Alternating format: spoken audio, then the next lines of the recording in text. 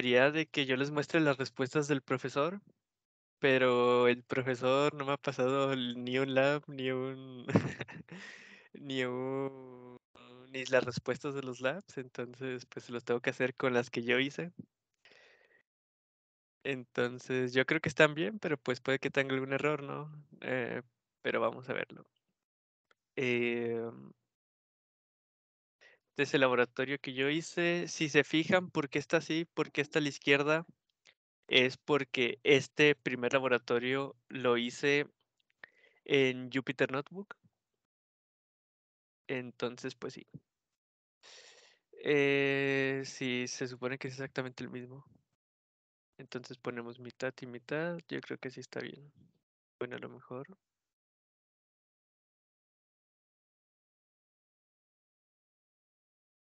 Así. Entonces. Ok, iniciaron la grabación. Perfecto, sí. Ah, pues, ¿cómo comenzamos? Pues lo típico, ¿no? Comenzamos con los datos, lo que viene siendo el nombre del laboratorio, pues el nombre de ustedes, su- sus datos, su nombre, su matrícula. Y pues las librerías. Las librerías utilizar definen el working directory y cargan la base de datos.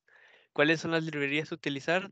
Las que les había comentado el app pasado, que es Modest y FMSB.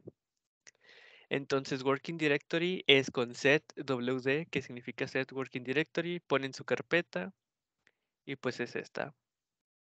Luego definen la base de datos, ¿no? El data frame, read el archivo, que es un CSV, y luego el nombre del archivo. Eh, luego con esto, con, eh, con esta segunda, perdón, quinta línea de código, lo que hacen es quitar las variables que estén vacías.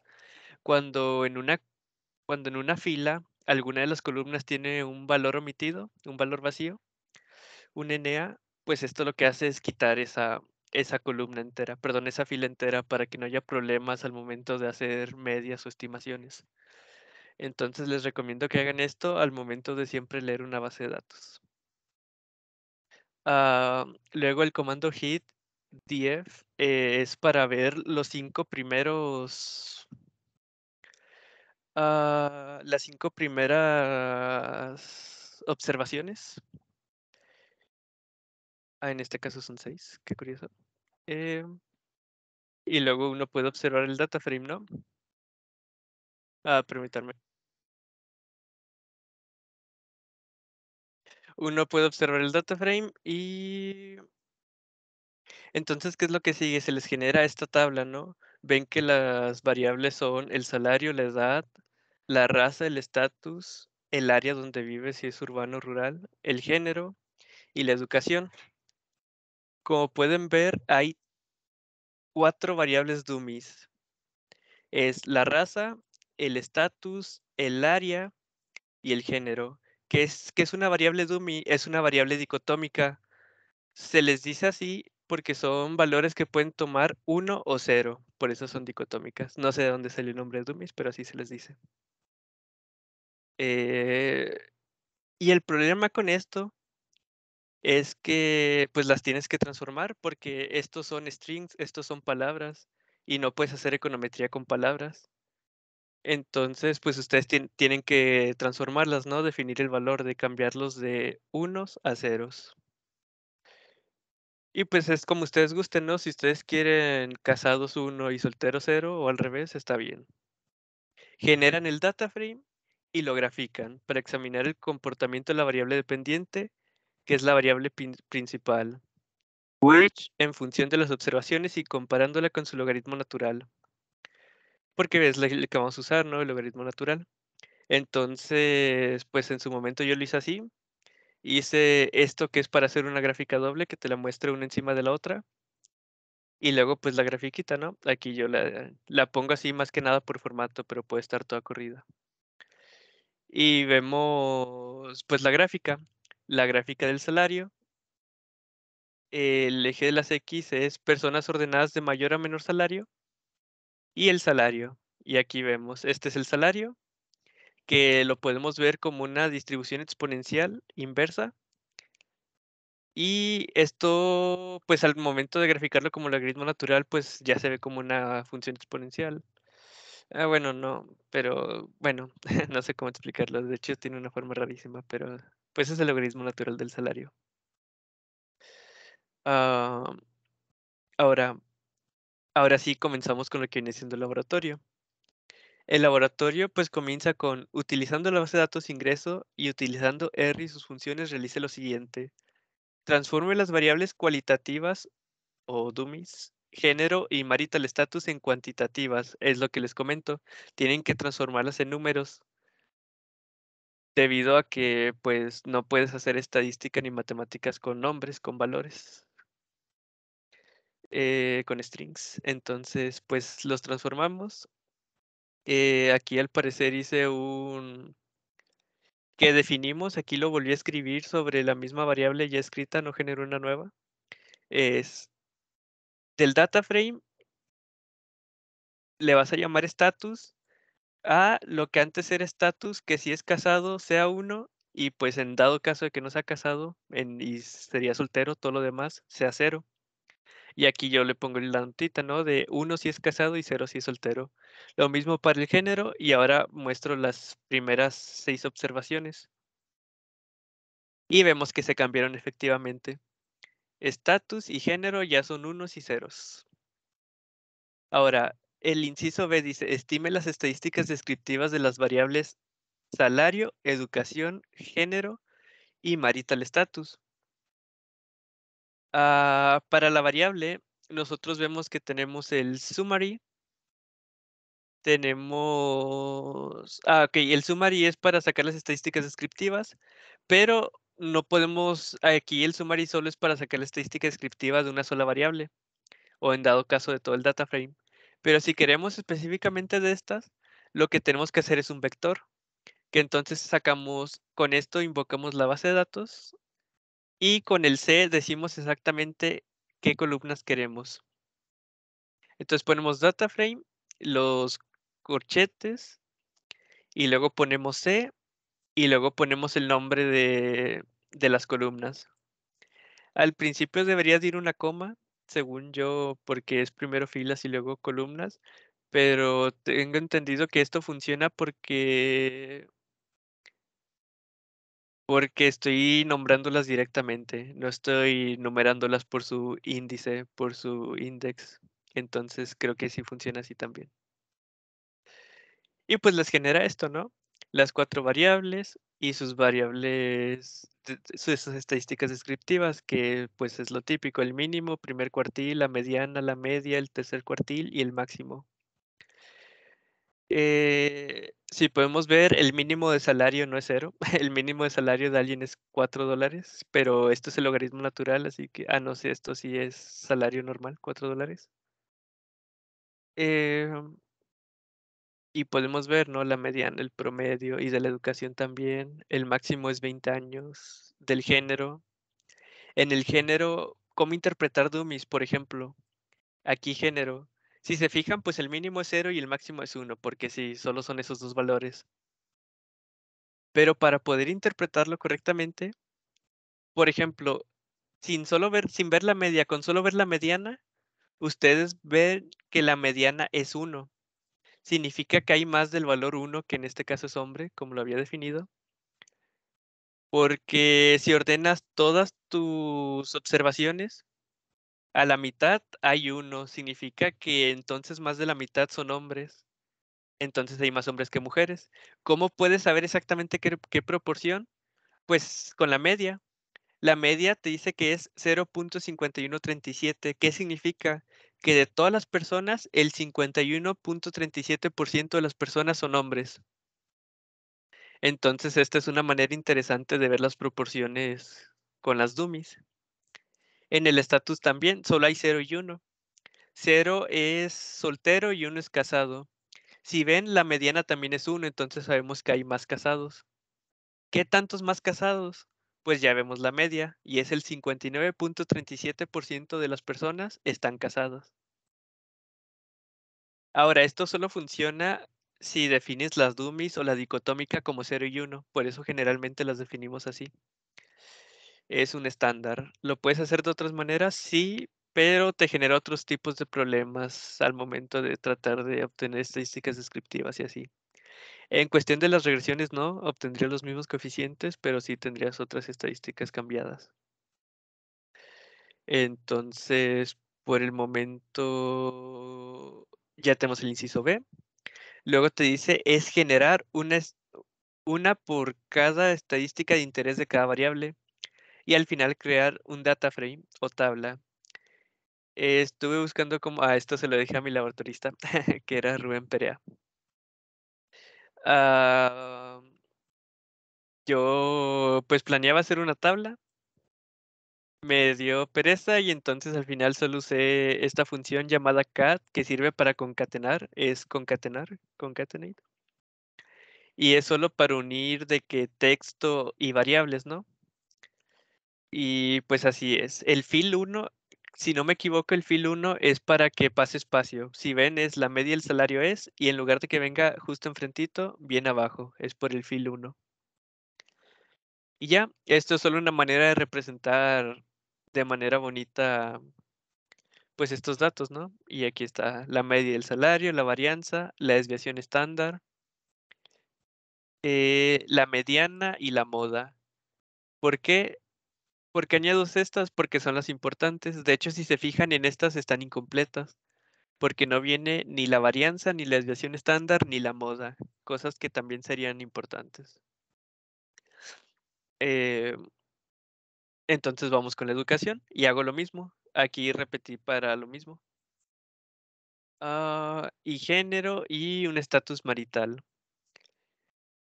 Si se fijan, lo hice pocas veces, pero si tuviesen una variable y tuviesen que repetir esto muchas veces, eh, un loop es su mejor opción. Aquí no, la verdad no vale la pena. Es mucho tiempo hacer el loop para solo copiar y pegar esto cuatro veces. Luego nos vamos al inciso C. El inciso C dice, estime la media, mediana y moda de la variable educación. Y entonces aquí está la media, la mediana y la moda y pues es min, median y MLV. Eh, MLV, si no me equivoco, es un paquete, es del modstat, no está por defecto en R. A lo que recuerdo, la verdad, esto pues lo hice hace un año. Eh, sí, creo que era eso. Y pues sí, esto es la moda. Ah, luego el inciso D dice, estime el siguiente modelo con la base de datos. Y luego aquí tenemos el modelo, ¿no? Logaritmo natural del salario es igual a beta, beta 0, que es la constante, es el intercepto, más el coeficiente beta 1 por la variable educación, más el coeficiente beta 2 por la variable de, por la dummy del género, más beta 3 por la dummy del estatus marital, más el error. Que ya saben que el error es normal, distribución normal, media cero, varianza constante. Eh, sigma cuadrada E. Aquí simplemente corremos la regresión y obtenemos los estimados con sus valores e intervalos de confianza. La regresión, pues yo usualmente les llamo reg. De hecho, aquí le puse el nombre completo, eh, pero yo usualmente nomás les pongo reg. Y esto se corre por defecto en Strata, esto sí existe por defecto, es LM, que significa Lineal Model. Es LMD y luego pues tenemos que poner esto, ¿no? Es logaritmo natural del salario, que depende, porque aquí al momento de poner ecuaciones, no recuerden que no se pone el igual, se pone esto que se llama virgulilla, si no me equivoco. Eh, que depende de la educación, del género, del estatus y por defecto viene activada la constante. Ahora, y pues los datos, ¿no? Porque estos son los nombres de las variables, pero ¿de dónde va a sacar las variables? Pues del data frame. Del data igual a df, que es el data frame como lo nombramos. Luego esto me corre la regresión, pero no me da no me da los datos ni nada. Lo tenemos que llamar. ¿Cómo lo llamamos? Con el summary, con el que te daba las estadísticas descriptivas acá. Pues ahora no solo te da las estadísticas descriptivas, también te da ah, pues la regresión, ¿no? Todos los resultados de la regresión. El comando confint sirve para darte los intervalos de confianza al 95% por defecto. Entonces es Ah, bueno, la interpretación. Esto, pues, está fácil. Lo primero que vemos es el modelo. Lo segundo que vemos es los residuales, que es el error. El error estimado, para ser preciso.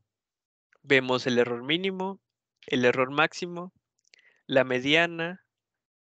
¿Por qué no viene la media? Pues porque la media está definida que sea cero.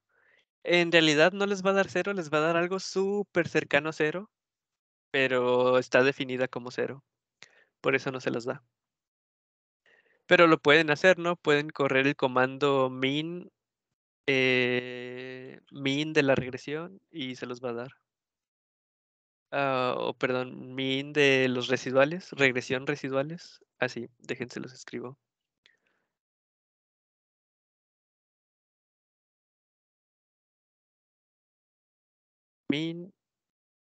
En este caso le puse regresión residuals.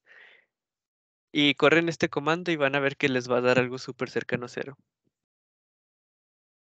Luego siguen los coeficientes.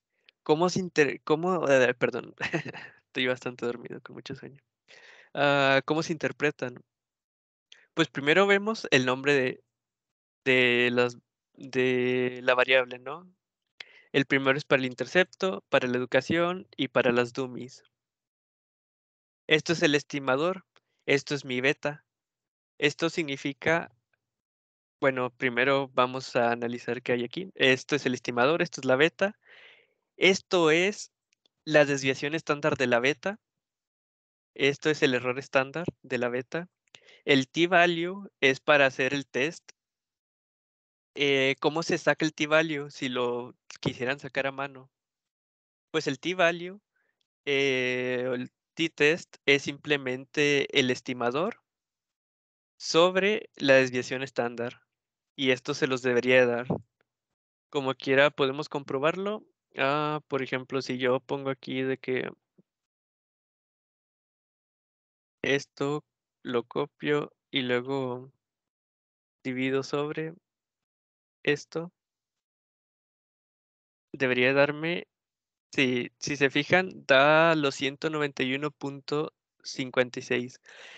Ah, ¿A qué se debe la diferencia? Pues los decimales. Si se fijan, esto está redondeado, son muchos más decimales, pero data por defecto, digo, perdón, R por defecto les muestra el límite de 5.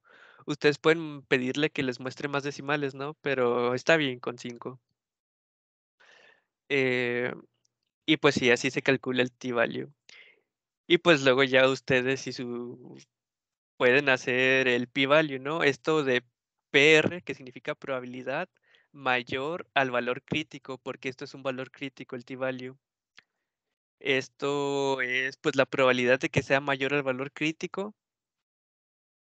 Y el valor crítico se hace con, con la distribución T.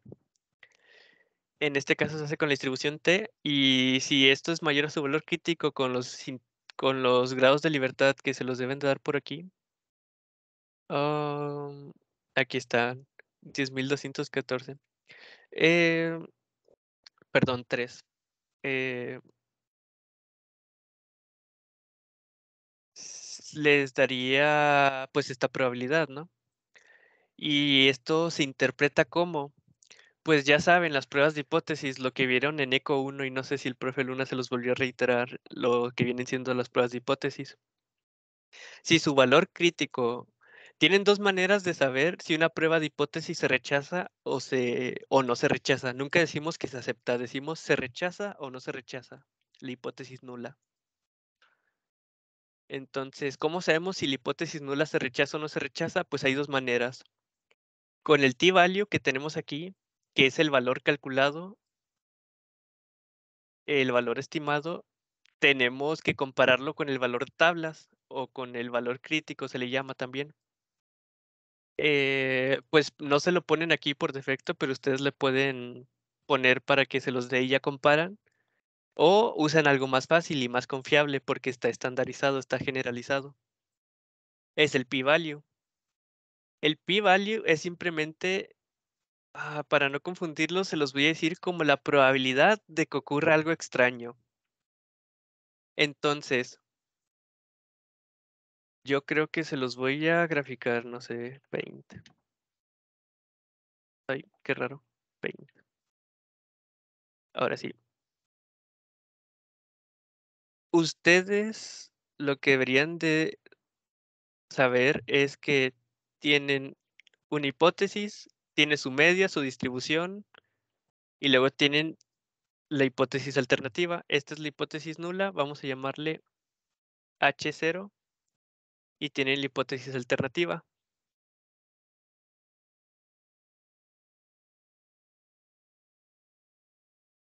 Pues ustedes tienen, ustedes solo, bueno, aquí solo trabajamos sobre la hipótesis nula y lo que vamos a ver es si la hipótesis nula se encuentra dentro del intervalo de confianza que definamos. Usualmente nosotros definimos un intervalo de confianza del 95%. Podemos usar del 90, podemos usar del 99 y del 99.99. Son los que trabajamos más común. De ahí en más, pues también pueden usar el intervalo de confianza que ustedes gusten, ¿no? Pero pues no lo hagan. y es un estándar eso. Entonces, el, vamos a trabajar con el típico, el de 95%. Vamos a ponerlo de aquí a aquí.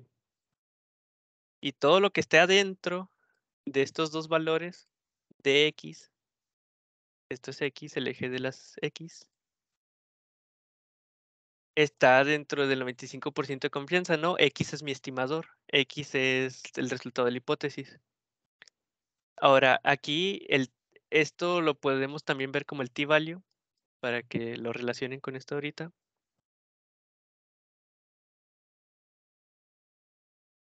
Si el t-value que sacamos en este caso es, por ejemplo, aquí está, ay, perdón, aquí está, 191. Bueno, vamos a agarrar este de 23 que está más cortito. Este de 23, pues debería de estar como por aquí. Vamos a marcarlo de verde. Aquí está mi 23. Pero el valor crítico para superar el 95% de confianza pues vamos a decir que es 7. Es por ahí, más o menos es por ahí. No recuerdo exactamente qué valor era, pero vamos a decir que es aproximadamente 7. Eh, pues 23 es mayor a 7 y ya no se encuentra dentro de la distribución, ¿no? Ya no se encuentra dentro de esta área del 95%. Significa que es raro. Entonces este numerito, mientras más grande o mientras más supere al valor crítico, que el valor crítico aquí es 7, pues vemos que se aleja de la hipótesis alternativa y entra al dominio de la hipótesis, perdón, se aleja de la hipótesis nula y entra al dominio de la hipótesis alternativa. Y decimos que este t-value, este estimador, esta hipótesis, se rechaza, se rechaza la hipótesis nula. No decimos que se acepta la hipótesis alternativa, simplemente decimos se rechaza la hipótesis nula o no se rechaza. Si en lugar de 23 hubiéramos tenido un 2, pues hubiera estado como por acá, el 2, muy cerca del centro, suponiendo que la media es 0. Eh, la media no es 0, o sea, eso cambia. Eh, he estado por acá, entonces se rechaza porque está dentro del área del 95%. Significa que hay un 95% de probabilidad de que sí sea mi hipótesis alternativa y de que no cometa el error tipo 1 ni tipo 2. Perdón, mi hipótesis nula. Ay, me estoy confundiendo bastante, perdón. Y con esto, pues ustedes dirían que no se rechaza, no se rechaza la hipótesis nula. Aquí no se rechaza la hipótesis nula, aquí sí se rechaza la hipótesis nula. Pero hay una manera todavía más sencilla de ver estos de regiones de rechazo, ¿no? A esto se le llama región de rechazo. A todo lo que está fuera del área roja se le llama región de rechazo. Y pues el área roja es la región de no rechazo, ¿no? Donde sí aceptamos, pero no decimos lo aceptamos. Es con el p-value. El p-value, en lugar de darte los valores en X, Porque, perdón, sí, porque ya ven que el t-test y los valores críticos son en X, es sobre esta línea. El p-value lo que hace es darte la probabilidad, porque es la probabilidad, ¿no? De que ocurra algo extraño. Es literalmente cuánto, cuánta probabilidad está subrayada. Vamos a suponer un p-value de 1. Le voy a llamar PV. No lo confundan con valor presente. un p-value de 1 significa que en mi distribución, ay, significa que en mi distribución, mi estadístico tiene una probabilidad de estar en la distribución. ¿Y cómo pues se llena esa distribución? Pues fácil. Toda el área es literalmente todos los posibles valores que puede tomar de X. Que mi p-value es cero o muy, muy cercano a cero. Significa que de mi distribución va a estar en la orillita, en la orillita, como por aquí, y aquí va a estar rayado esta área de negro. Es una probabilidad muy cercana a cero. Y entonces, pues vemos que es raro, ¿no? O sea, vemos que también es raro y se rechaza y, y decimos que se rechaza la hipótesis nula. Aquí decimos que se acepta porque está básicamente aquí en todo el área. Y entonces aquí es donde vemos el p-value. Si vemos, si habíamos definido las regiones de rechazo, los intervalos de confianza se les llama esto, usualmente hacemos 95% usamos 5 de significancia o 95 de confianza. Cualquiera de las dos son sinónimos, es la misma, son diferentes formas de decir lo mismo. 5 de significancia, 5% de significancia o 95 de confianza.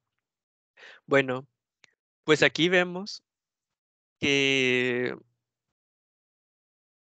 que aún suponiendo que quiero subrayar, bueno, dibujar el 5% de la probabilidad, 5% de todo el área aquí,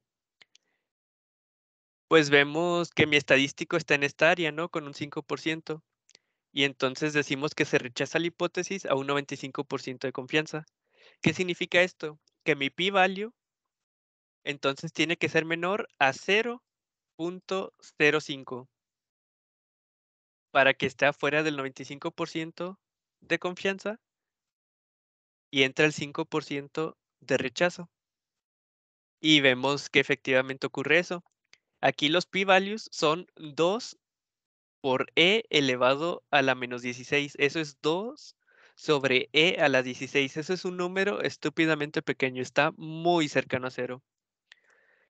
Y entonces cuando el p-value es muy cercano a cero, pues ya saben, está muy alejado porque es una probabilidad de cero. Y entonces sí, se, va, se dice que se rechaza la hipótesis nula. Entonces sí, ah, con el p-value cuando es menor a 0.05 de significancia, pues se rechaza la hipótesis nula. Y entonces aquí, ¿cuál es la hipótesis nula? Porque sí, estamos rechazando la hipótesis nula, ¿no? Pero ¿cuál es la hipótesis nula? La hipótesis nula se le llama hipótesis nula de insignificancia. Ah, nuevo. Don't save. Aquí está. La hipótesis nula del estimador T es, imaginen que son puntos, no me sale. Es que la beta, específicamente esa beta, beta i, sea igual a cero. Por eso se llama hipótesis nula de insignificancia. Porque si es a cero, pues es, es insignificante, ¿no? Bueno, se dice no significativo, no digan insignificancia. Se dice o sea, sí es hipótesis de insignificancia, pero aquí se dice hipótesis es una beta no significativa. ¿Qué significa? Que la beta es estadísticamente igual a cero. Ustedes van a ver un numerito, ¿no? Como 0.05, por ejemplo, 0.5. Pero estadísticamente es igual a cero. ¿Qué significa que sea estadísticamente igual a cero? Pues que la variable no tiene efecto, ¿no? Por ejemplo, la educación. Si la beta fuera cero, significa que yo, por cada año de educación que tengo, pues no tiene efecto sobre mi salario, cosa que sabemos que pues en la vida real no pasa, ¿no? Y aquí en estos datos tampoco, si tiene significancia. Entonces, con esto pueden saber eso. La significancia individual o específicamente de esta beta con respecto a la variable dependiente. Entonces, esto es básicamente todo lo que me tenían que haber interpretado. Bueno, no todo, falta esta parte. Ah, bueno, les voy a explicar esto. Aquí están los códigos de significancia. El cero, el cero no tiene. Se leen de lo que está a la izquierda del número. Tres asteriscos significa que es significativo al 99.9%. Esto es 0.001 de significancia. Dos asteriscos es 0.01 de significancia o lo que es igual a 99.9 de confianza. Perdón, a 99% de confianza. Esto es 99.9. Un asterisco significa 0.05 de significancia o lo que es igual al 95% de confianza. Y un puntito es lo mínimo, ¿no? Lo mínimo aceptable estandarizado, que es 0.1 de significancia o lo que es igual al 90% de confianza. Si se fijan de ahí en más ya no viene nada, significa que no es significativa. O no para los intervalos de confianza propuestos, ¿no? Estándares. Vemos que son tres asteriscos, significa que es lo máximo de significancia que puede alcanzar estandarizado, que es el 99.9% de confianza. Y luego vemos esto, residual estándar error. Esto es los grados de libertad. Esto es básicamente la desviación estándar del error. Eh, de todos los errores. Esto es los grados de libertad. Los grados de libertad se calculan como tus observaciones totales menos tus regresores. En este caso tenemos regresores 4, 3, perdón, entonces sería 10.217 menos 3 y esto nos da los 10.214. Eh, la R cuadrada múltiple y la R cuadrada ajustada. ¿Cuál es el que vamos a ver para ver si el modelo se ajusta correctamente? Siempre vamos a usar la R cuadrada ajustada. Bueno, preferiblemente. ¿Por qué? Porque la R cuadrada ajustada toma en cuenta las variables, penaliza la cantidad de variables. ¿A qué me refiero? La R cuadrada, bueno, primero la R cuadrada, si recuerdan, Luna también creo que se las debió de haber vuelto a explicar, eh, es cuánto se ajusta de la varianza de mi X o de mis regresoras de todas mis X sobre la varianza de mi Y. Es básicamente cuánto de la varianza de Y o de la variable de, eh, dependiente está explicada por la varianza de mis variables independientes en su conjunto. ¿Qué significa eso? Que si yo meto cualquier variable a lo tonto, o sea, literal empiezo a meter cualquier tipo de variable, pues mi R cuadrada va a seguir aumentando, porque la varianza solo va a estar aumentar y de alguna manera, aunque no sea significativa, va a estar explicando algo. Eh, entonces, por eso no se usa esta, se usa la ajustada, porque la ajustada sí penaliza. Penaliza de que cuánto más está atribuyendo esa nueva variable sobre la cantidad de variables, porque si tienes muchas cantidades de variables, en realidad esto se disminuye. Y por eso está definida como menor que, por cómo es la R cuadrada ajustada, la fórmula está definida menor que la R cuadrada normal. De hecho, se los voy a poner para no dejarlos con las dudas. R cuadrada ajustada. Ah, ¿Dónde está la fórmula? Imágenes. Aquí está. Está definida como menos que la R cuadrada múltiple o la R cuadrada normal. ¿Por qué? La R cuadrada aquí está. Y la R cuadrada ajustada es 1 menos 1 menos la R cuadrada. Y esto N y P es el número de observaciones y de variables. Aquí está, K, aquí le llama K. Es el número de observaciones y de variables. Entonces, si el número de variables ves, ven que si aumenta el número de variables, esto aumenta. Y si esto aumenta, todo esto disminuye. Y pues sí, ahí ocurren cosillas.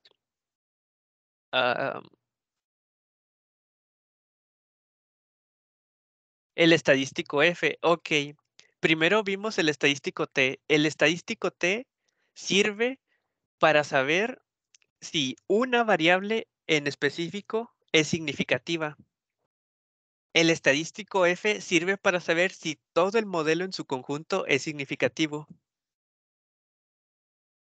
Entonces, apréndanselo así. El t-test es para una variable en específico. El f-test o el f estadístico es para todo el modelo en su conjunto. ¿Qué significa esto? Pues es explícitamente la prueba de hipótesis es esta para el estadístico F. Si la recuerdo bien es así. Que PI es diferente es igual a BJ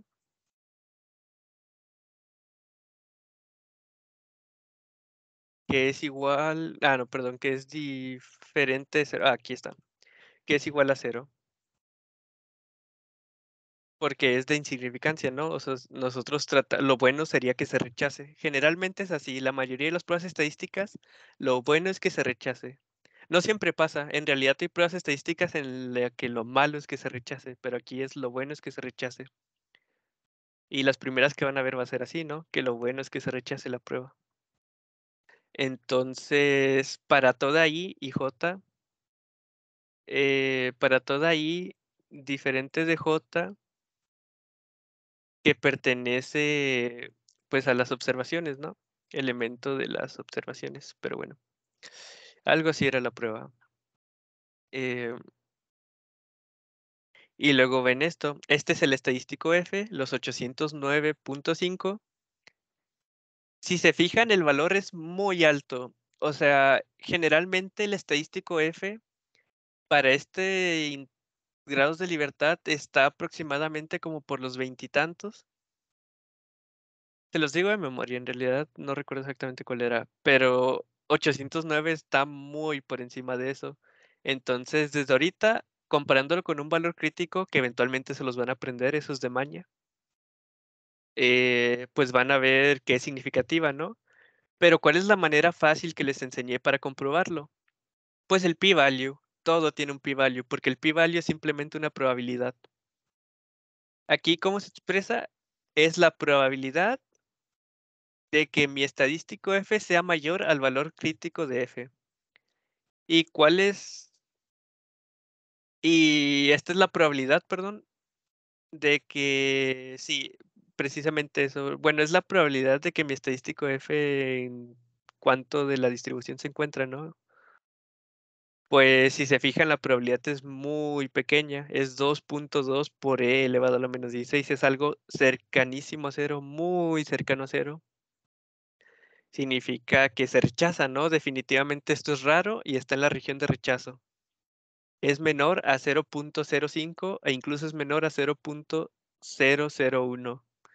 Entonces, con una confianza del 99.9%, rechazamos la hipótesis nula de insignificancia y decimos que el modelo en su conjunto es significativo. Estos son los intervalos de confianza.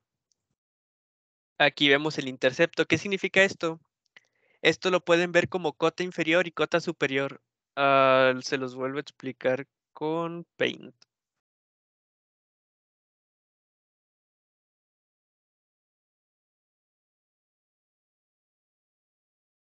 Si recuerdan, nos vamos a la distribución del estimador.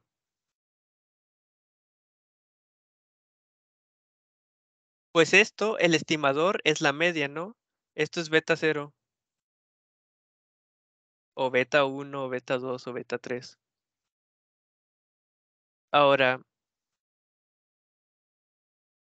hay una probabilidad, ¿no? Tiene su, su probabilidad.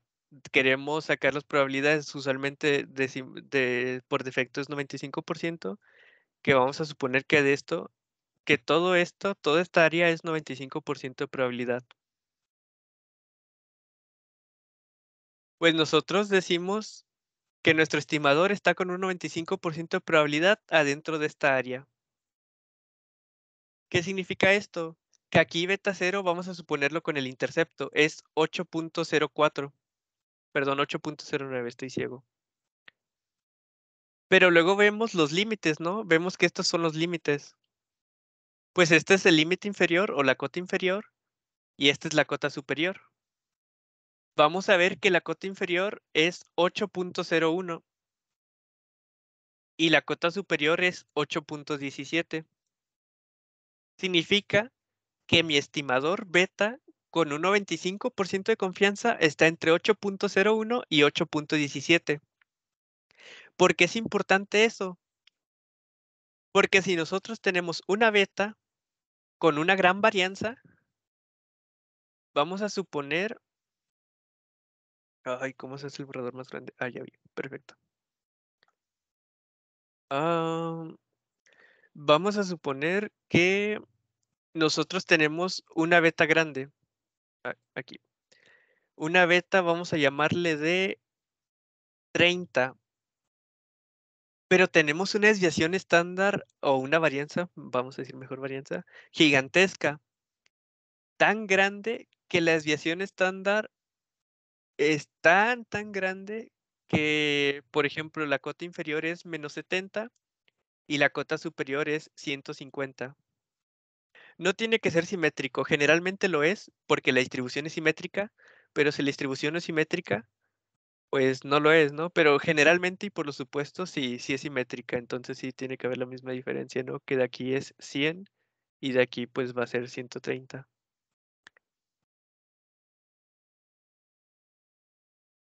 Pero no es una regla, pero generalmente sí va a ser simétrico.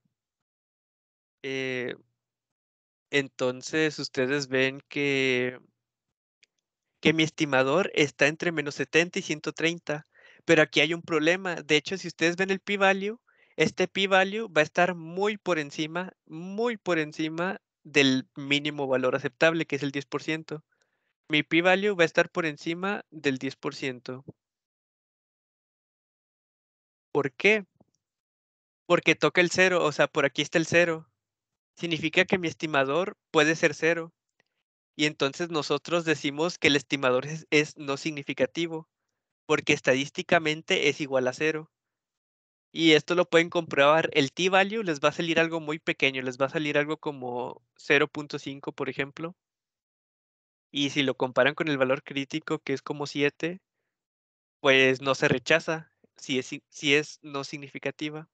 O el p-value también, les digo, va a salirles algo mayor a 0.1 y también decimos que no se rechaza. Que el estadístico es, es estadísticamente igual a cero. Y pues sí, no se rechaza. Esto es otra manera, una tercera manera de saber si mi variable es significativa, ¿no? Si va de un valor negativo a un valor positivo, pues sabemos que es una mala variable, sabemos que es una mala estimador, más bien una mala beta. Pues sí, una mala variable, ¿no? Porque al final es el efecto de la variable. ¿Cómo sabemos que todas están bien? Aparte de ver el t-value y aparte de ver el p-value, que es el más importante, el p-value, siempre va a ser el p-value, pues es ver el intervalo de confianza, ¿no? Si el intervalo de confianza pasa de un negativo a un positivo, pues algo está mal porque pasa por el cero y si pasa por el cero es estadísticamente igual a cero. Entonces sí. Y hay dos maneras, pues de que sea, hay dos maneras de que sea cero, ¿no? La primera es que su media esté muy cercana a cero. Supongamos aquí que, el, que es 0.04 y tiene una varianza no tan grande, pero lo suficiente para que aquí sea menos 0.05 y aquí 0.1. La varianza es pequeña, pero la media está tan cercana a cero que el estimador es básicamente cero, es no significativo. Esta es una, ¿no? Que la media esté muy cercana a cero. La otra, y es la que ocurre comúnmente, es que, ok, su estimador puede estar como por los 30, pero pues la varianza es gigantesca y entonces pues va a ser estadísticamente igual a cero por la pura varianza. Y es por eso que decimos que la varianza genera problemas al hacer pruebas de hipótesis. Cosa que vamos a ver en el siguiente lab, ¿no? Luego creo que le tengo que meter Meet Nitro porque quedan 8 minutos y no les he explicado el lab 2 ni el lab 0. Eh, el inciso E, bueno, pero esto es muy importante, la verdad, porque todos los labs van a ser así, me lo van a tener que interpretar. Es explique los resultados y haga las pruebas T y F para verificar que el modelo está bien especificado. Esto es lo que les expliqué básicamente. Ah, sí, es lo que les expliqué. Es, Esto, todo esto es lo que les expliqué. Ah, estas son las pruebas de hipótesis. Esta es la hipótesis nula. Esta es la hipótesis alternativa. Em, aquí K son las variables. Aquí no son las observaciones, K son las variables. Y por lo tanto el modelo es significativo en su conjunto. Sí, esto se refiere para todas las beta i son iguales. Este es el del F, sí. Aquí les digo los de la R cuadrada y la R cuadrada ajustada. Y luego vamos al inciso F. De acuerdo con sus estimaciones, ¿encuentra usted el problema de multicolinealidad en sus resultados? Ok. ¿Cómo detectamos multicolinealidad? Pues hay dos maneras muy fáciles. Bueno, primero hay tres. Si es multicolinealidad perfecta, primero ni siquiera puedes tener estimadores. Es imposible que tengas estimadores, porque como ustedes sabrán, les debió de haber dicho Luna, la multicolinealidad perfecta lo que hace es que tengas una matriz singular. Perdón, no singular. Creo que era no singular, no recuerdo bien. Al X álgebra matricial. Creo que era no singular, pero no me hagan caso ahí. Es una matriz no singular que significa que no tiene, que no tiene determinante. Y una matriz que no tiene determinante, pues no, no tiene una matriz inversa, porque la matriz inversa pues es la matriz transpuesta de la matriz cofactoriana, ¿no? Y pues sobre el determinante, si el determinante es cero, pues eso se va indeterminado y entonces no existe matriz inversa y como no existe matriz inversa de x transpuesta a x, pues no puedes estimar tu ninguna beta, literal, no solo la que tiene multicolinealidad, sino ninguna. R, todos los paquetes estadísticos R, Python, Stata te lo detectan por defecto, te la quitan, te dicen, ah, estas dos variables tienen multicolinealidad perfecta y te quita una de las dos y te avisa, te dice, ah, eliminamos esta variable por multicolinealidad. Eh, pero bueno, esa es la fácil, ¿no? Detectar multicolinealidad perfecta porque te avisan. Eh, la segunda, para la multicolinealidad cercana, que es la que no es perfecta, esta es simplemente te infla la varianza del estimador. Y como les digo, inflar la varianza del estimador es malo porque les perjudiquen las pruebas de hipótesis. Pues hay dos maneras de detectarla, con la matriz de correlaciones y con el BIF. La matriz de correlaciones es con el comando core, ponen el data frame, bueno, el nombre de su base de datos, y pues llaman a las columnas, ¿no? Llaman a las variables. ¿Cuáles queremos ver? Pues queremos ver la varianza entre educación, la correlación entre educación, género y estatus. Y ya se les genera esta matriz de 3x3. Y pues sí, obviamente, ¿no? Cualquier variable consigo mismo, pues es una correlación perfecta de 1. Eh, lo importante son estas de las orillas, estas tres de las orillas, pues es simétrico, los de acá son las mismas. Es educación con género, que tiene menos 0.06, eso es poquito. Y luego es educación con estatus, que tiene 0.09, que también es poquito. Y género con estatus, finalmente, que es 0.06, que también es poquito. ¿Qué es poquito y qué es mucho? Pues la verdad aquí no hay una regla en específico. Poquito y mucho es relativo.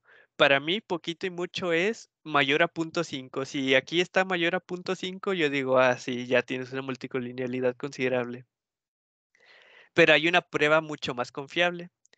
¿Por qué es mucho más confiable? Porque aquí sí hay un estándar, aquí sí hay, sí hay algo que te dice, ah, si es mayor a 10 o 5, no recuerdo exactamente. Eh, ah, de hecho, aquí lo tengo anotado, fíjense, lo explico. Si es mayor a 5, es multicolinealidad cercana débil, y si es mayor a 10, es multicolinealidad cercana fuerte. Desde el 5 ya comienza a ser un problema, ¿no? Pero todavía lo puedes omitir. En el 10 ya no. En el 10 ya es, ya es mucha la varianza que te genera y ya ahora sí ya la debes de intentar arreglar. Eh, pues el BIF es simplemente BIF, así se llama, y pones tu regresión, ¿no? Aquí yo decidí poner el modelo. Eh, si se fijan, lo tienen que hacer como así, como si fuera una regresión de su variable de la que quieren explicar el BIF con respecto a las otras dos. Y ya, aquí obtienen sus VIPs. Y luego ustedes lo tienen que explicar, ¿no? Que aquí es esto, estadísticamente es esto, 1 sobre 1 menos r cuadrada, esto está sobre la está en la varianza de, de mis betas. Y pues aquí está toda la explicación. Ah, el BIF, ¿cuándo se considera que no hay absolutamente nada de multicolinealidad? Cuando es 1. Cuando es 1, se considera que no hay multicolinealidad, pero jamás, jamás, jamás les va a salir que es 1. Porque todo se relaciona con todo en la vida real y en las matemáticas, porque matemáticamente también no les puede salir uno exacto. Les va a salir algo, aunque sea muy pequeñitito, pero por encima de 1. Eh, si se fijan, esto es 1.01, 1.009, este está muy cerca a 1, por ejemplo, 1.01. Ninguno siquiera es mayor a 1.1, entonces la multicolinealidad es básicamente no hay. Lo podemos comprobar con la matriz de correlación, lo podemos comprobar con los VIPs. Aquí, en esta base de datos, en estos datos, en esta regresión, relaciones, no hay problema de multicolinealidad, no es un problema. Y pues esto es básicamente todo el apuno. Em y ya. Sigue el app 0. Para el app 0 ah, yo creo, la verdad, que los voy a pasar ustedes. Lo voy a hacer como de 20 minutos rápido. Y los voy a pasar ustedes al azar, porque sé que no va a haber voluntarios, a menos que quiera haber algún voluntario aquí que tenga levantada la mano. Em pues no, no hay ningún valiente. Entonces pues sí. ¿Por qué les digo que que va a ser voluntarios? Porque yo no tengo esto hecho, em de hecho, este lab ya me lo inventé, pues, si se fijan, no es el formato del profe. Bueno, me lo alteré el que me pusieron, a mí me pusieron uno similar, pero era diferente, era más simple, de hecho, estaba más fácil, pero pero bueno, equis. Detalles, em ¿Cómo le voy a hacer? Okey, creo que ya sé cómo le voy a hacer. Pues aquí tengo sus exceles, el bueno, el Excel. La participación se las voy a se las voy a marcar si participan, lo tengan bien o lo tengan mal, se los voy a poner. Em ¿Qué clase es esta? Esta es la clase 4, ¿no? Sí, de hecho, creo que esta es la clase 4. Sí. Bueno. Eh Okey, yo creo que va a ser así. Actualmente son 48 personas. En la llamada estamos treinta y tantos, okey. Entonces, les voy a poner de que sample del 1 al 48 y dame ¿Cuántas preguntas son? 1, 2, 3, 4, 5, 6. Pero una se divide en 3, dame 9. Ay. Entonces ya lo tenemos 31, 37, 14, 31, 37, 10, 24. Entonces comenzaríamos con Daniela Garza Salinas. Eh pues, todos tienen su lap escaneado, porque lo subieron, lo subieron en Teams. Entonces, yo creo que si podría si pudieras transmitir pantalla y pudieras explicar el inciso A, por favor. Bueno, primero si te encuentras, ¿no? Quiero suponer, sí. Ah, bueno, primero, ¿quieres participar?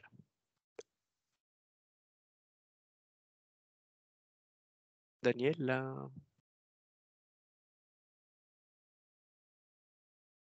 Bueno, voy a asumir que no está. Siguiente persona, 37. 37. Tom Elting Cisneros, Elting, ¿cómo se pronuncia Elting? Elting. Bueno, Tom, ¿estás aquí? Hola, hola, hola, hola. Ah, bueno, no está. Uf, qué feo. 10. ¿Quién es el 10? Alexis Rodríguez de León. Hola, Alexis. Sí, hola, ¿cómo estás? ¿Quieres Sí, participar? déjame lo, lo comparto. Perfecto. Sí, muchas gracias.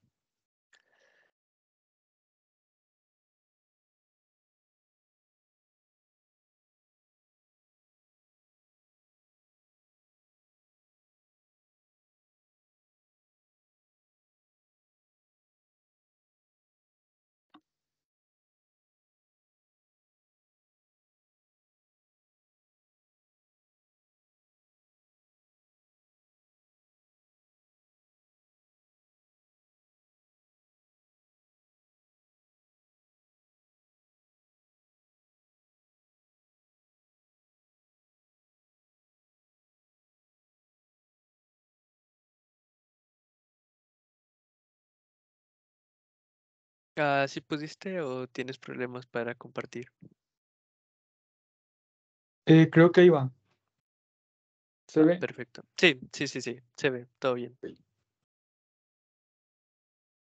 Este es el ejercicio, ¿verdad? Es el 1. Sí, el inciso 1, por favor. Si Bueno, lo que yo hice fue, sí, fue Adelante. calcular el, el error con error transpuesto del error y luego de ahí pues eh, minimicé derivando igualando a cero y me daba el estimador de beta de mínimos cuadrados ordinarios. Ok. Ah, fíjate que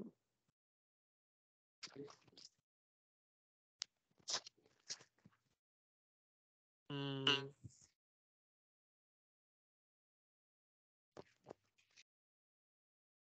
Ah, no, pues sí, sí, yo creo que está bien. O sea, está bien. Tenía la duda en cuestión de que los pusiste al revés, ¿no? O sea, el usual es x transpuesto x a la menos 1 que multiplica x transpuesto y. Ah, pero creo, y estoy viendo, o sea, estoy pensando, creo que no hay problema. Porque pues ya ven que, que el orden de los factores no altera el producto, pero eso no aplica para matrices. En las matrices el orden sí afecta.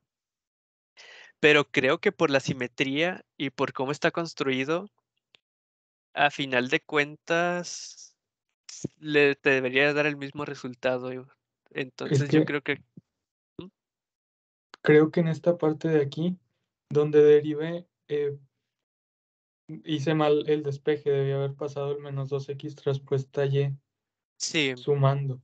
Y ahí está donde está el error. Si el 2x transpuesta y, pues ya lo tienes ahí, ¿no? Pero ahí, ahí te va. En la tercera línea, de abajo hacia arriba, cuando pones x transpuesta x inversa, la beta la pasaste a un lado. O sea, en la segunda línea, de abajo hacia arriba, tienes x transpuesta y igual a beta x transpuesto x. Sí. Eh, si te fijas, arriba tenías x transpuesta x beta. O sea, la beta la tenías del lado derecho. Ahí sí Sí, ahí. afecta. Como que el, el- el despeje lo hice, lo hice al revés. Sí, entonces la beta se va a la derecha y cuando tú quieres eliminar x transpuesta x de la beta, tú tienes que poner x transpuesta x inversa a la izquierda, porque no lo puedes poner en medio y no lo puedes poner a la derecha de la beta, porque no, no pasa nada. Entonces lo pones a la izquierda y por eso es que sucede de lo de x transpuesta x a la menos 1 es por x transpuesta y es igual a beta. Es solo una anotación. Ah, la verdad, yo creo que está bien, le tendría que echar un ojo a eso, porque según yo, por simetría, como quiera, está correcta la expresión, pero sí te recomendaría que te lo aprendas de la otra manera, nomás por si las dudas. Ok, va. Como quiera, todo bien, estuvo perfecto, la verdad, sí. Eh, Muchas gracias. sigue el 24. El 24 es Dayana Gámez Rodríguez. Hola, ¿te encuentras? Dayana, ¿quieres participar? Hola, este, pues si quieres, pero no sé si está bien. Sí, no te preocupes, tú transmite y te tocaría el inciso B. Ok. Mm. Mm,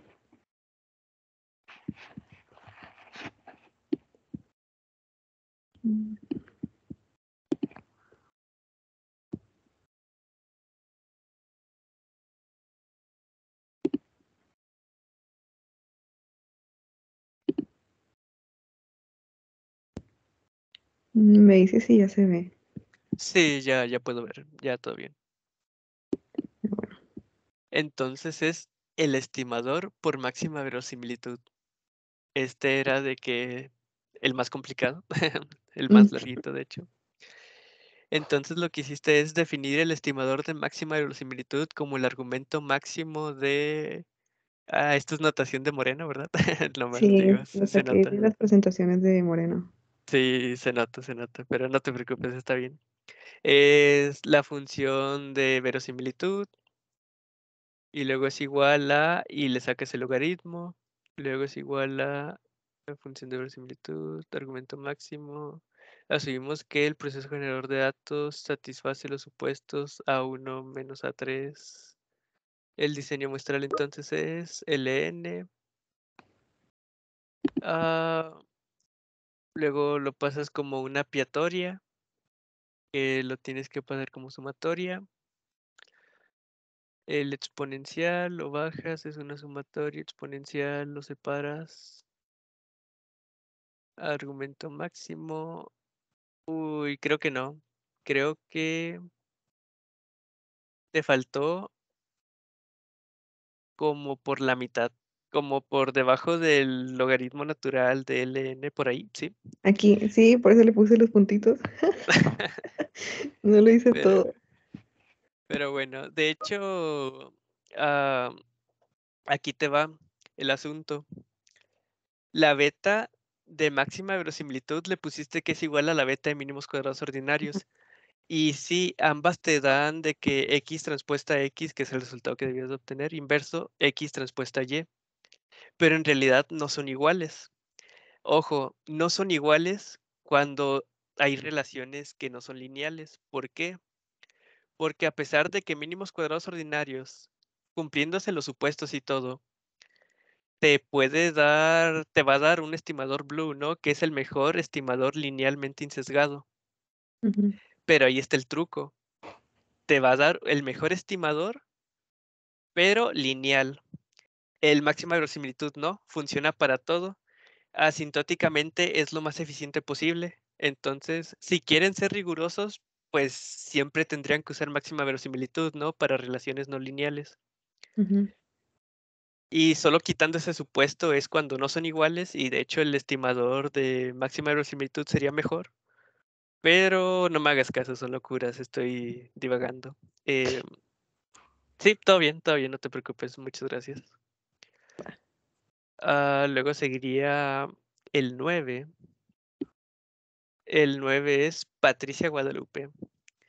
Ah, hola Pati, ¿quieres participar? Este que sería el inciso Sí, C, ¿verdad? Sí, el método de momentos, el más fácil. déjame. Ay, Mira, es más, el inciso C y el D, porque el inciso C yo recuerdo que lo expliqué aquí, precisamente porque tú me lo preguntaste. Sí, está perfecto. Ahí voy. Va, va, va. Espero ser buena explicándolo. A ver, inciso. Ya se ve mi pantalla, ¿verdad? Sí, sí, sí, todo bien, todo Ok, perfecto. gustó el inciso. Ok, es este. Ok, inciso C. Opera con por el método de momentos del modelo de regresión lineal múltiple. Bueno, nosotros sabemos que por exogeneidad la esperanza de x transpuesta a epsilon es igual a cero. Esto hablando de matrices. Entonces, Es, nosotros. sí, sí, sí, es correcto, continúa. Ah, Ok, entonces aparte nosotros sabemos que y es igual a x por beta más epsilon. Esto también está en matrices. Entonces despejamos para epsilon, para el vector epsilon. Entonces, este, pues nosotros partimos de que pues la multiplicación de x transpuesta por epsilon. Entonces lo que vamos a hacer es de que vamos a sustituir epsilon por y menos x beta y obtener su esperanza. Entonces, bueno, yo lo primero que hice fue multi- multiplicarlo, de que x transpuesta por y menos x transpuesta por x por beta este, igual a cero. Porque la esperanza de x transpuesta por epsilon es cero. Nada más que, ah, sí, sí, es igual a cero. Entonces, este, paso x transpuesta x beta al otro lado y aplico la inversa, o sea, x transpuesta x inversa en ambos lados. Entonces, pues de este lado, o sea, del lado derecho, donde está x transpuesta x inversa x transpuesta x, pues es la matriz de identidad y pues simplemente nos queda que beta es igual a x transpuesta x inversa x transpuesta y. Nada más aquí me faltó poner de que pues estamos hablando del estimador. Sí. Ah, exactamente. Aquí es donde te va el asunto. De que pusiste la esperanza solo en el primero, al momento de plantear el problema. Sí, En realidad, en realidad la esperanza no se quita hasta casi el mero final. pasó. Ok, La esperanza se quita cuando le pones obtener esperanza de X respuesta Y. Todavía, todo eso todavía debería estar en la esperanza. ok. Y pues tú dices, luego tú puedes sacar de la esperanza, puedes sacar X respuesta Y. ¿Por qué? Porque X respuesta Y es un número. Es literalmente un escalar, es un numerito. Entonces, la esperanza de una constante, pues es la constante misma. Y luego del otro lado tú tienes X transpuesta X por beta. Ahora, la esperanza de eso, pues no lo puedes sacar directamente. Bueno, todavía no. Es, sería, puedes sacar X transpuesta X porque eso también es un numerito. Tus- la esperanza de una variable por un numerito, pues es el numerito por la esperanza de la variable, ¿no? Sí, Entonces ya finalmente tienes la esperanza de beta y ahí es cuando pones el estimador. ok. Eh, pero sí, por lo demás todo bien. Eh, pero sí, sí, está muy bien. Sí, esos son los pasos, todo bien. Muy bien. Y Eh, si pudieras el D, por favor. Colto, una pregunta. Sí, claro. El, el Adelante. profe explicó ese método en clase, pero utilizó sumatorias, dividió entre n y Ah, este. La verdad, yo soy fanático de las matrices porque es mucho más fácil, mucho más fácil de usar, de aprender, de leer, de escribir. Eh, si se los enseñó con sumatorias, sí lo pueden hacer con sumatorias, pero explícitamente les recomiendo que usen matrices para todo. De hecho, todos los que les voy a encargar, pues, de preferencia matrices, ¿no? A menos que explícitamente diga sumatorias. Pero sí, con sumatorias es lo mismo, o sea, son solo formas de representar el problema, ¿no? Lo puedes ver con el ojo izquierdo, con el ojo derecho, lo puedes ver con sumatorias o con matrices, debe darte exactamente lo mismo. Como sumatorias te debe de dar eh, la sumatoria de x por, por la sumatoria de y entre la sumatoria de x al cuadrado, si no me equivoco es eso. Eh, pero como te les digo, yo no soy fanático de las sumatorias. ¿Por qué? Porque eso funciona con una variable, dos a lo mucho, pero una vez tú empiezas a meter o a correr más variables, más regresores, se les llama las variables independientes a las X, empiezas a, a meter más regresores a tu modelo, pues las sumatorias se hacen estúpidamente grandes e ineficientes porque tienes que estimarlas y pues matricialmente lo puedes hacer muy rápido. Y pues sí, a mano, sí, suponiendo que lo fueras a hacer a mano, ¿no? Por eso digo. Ok, muchas gracias. Pero sí, todo bien. Eh, ahora sí, puedes continuar, Pati, por favor. Este, bueno, en el inciso D era explica los supuestos que se deben cumplir para que el estimador beta de mínimos cuadrados ordinarios sea insensado, consistente y eficiente. Bueno, aquí quiero aclarar algo porque pues con el doctor Moreno veíamos que eran cuatro supuestos, pero veo que el doctor Luna, este, el de esfericidad no observables como que lo particiona en dos, entonces para el doctor Luna pues son cinco, pero lo dejé en cuatro. O sea, sí incluí todo lo que dijo el doctor Luna, pero pues yo lo incluí en cuatro. No sé si me expliqué. Sí, Bueno, el primero es la line- linealidad del modelo, o sea que la relación entre y, xy y epsilon y se puede descomponer linealmente. Bueno, primero lo hice que por individuo, o sea que xy y puse este vector. Esto fue nada más para acordarme de las dimensiones de los vectores porque pues, o sea, para tener una idea, no sé, que cuando estemos trabajando y decide que, ah, este, este es de dimensión de qué tal por- por tal, ¿verdad? Entonces aquí hice la aclaración de que sería que para todos los individuos pues quedaría de esta forma, de que y estaría que de n por 1 y pues la matriz X, que es la matriz de información, sería de n por k más 1. Más 1 porque, porque contando de que beta 0, aunque a veces veo que el doctor Luna no lo cuenta. bueno, ah, el segundo es exogene- exogeneidad y yo, lo, o sea, yo escribí la definición a lo que para mí se me hace más fácil de que decir de que lo que yo observo del individuo, o sea, X no explica lo que yo no observo para individuo, o sea, epsilon. Entonces, pues primero lo representé como XI es ortogonal a epsilon i, que ya el doctor Luna nos explicó un poquito de que pues venía del coeficiente Pearson y que no sé qué, y así. Entonces, la parte izquierda donde dice la esperanza de epsilon i dado xi, que es igual a epsilon i, digo, a la esperanza de epsilon i, esto porque las x están dadas, entonces pues sería igual a cero, y la covarianza de xi con epsilon i pues es cero porque pues no están de que relacionadas, ¿no? Esto es de que de manera individual, este por matrices pues es, es lo mismo, pero pues es lo que está del lado derecho, ¿no? Este, luego tenemos no colinealidad, o en el caso de multivariable, pues creo que sería no multicolinealidad. Entonces, a mi definición sería, existe suficiente información en los datos. es- esto es, no existe relación lineal entre las columnas de X, estas son linealmente independientes. Entonces, por eso el rango de X es igual a K más 1, porque si nos acordamos un poquito de álgebra matricial, pues, este, o sea, o sea, tendría que haber inversa como describiste, entonces pues cuando no se puede obtener la inversa es porque el determinante pues es igual a cero y esto es porque hay como que combinaciones lineales entre las columnas. Entonces pues en este supuesto es como que te dice que, o sea, que no existe esa combinación y por eso pues se cuenta de que todo el rango completo, algo así. Y Sí. finalmente tenemos de que esfericidad en observables, eh, pues que el término no observable es homocedástico, es decir, que es igual varianza y no está relacionado entre observaciones. Esto es importante decir que pues son I y D, o sea, son independientes entre ellos y pues lo mismo que acabo de decir, ¿no? De que con covarianza, con- digo, varianza constante y, covar- y covarianza cero.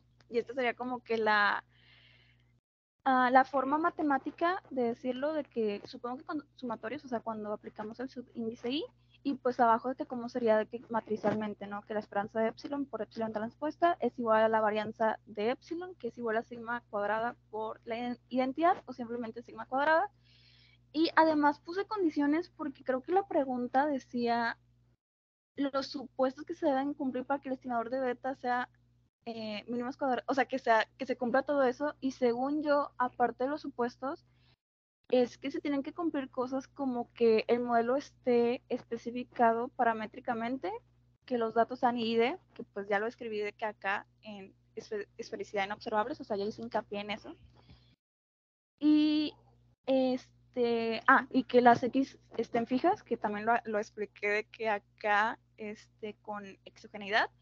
Y aparte que el número de observaciones sea mayor que el número de parámetros. Y eso.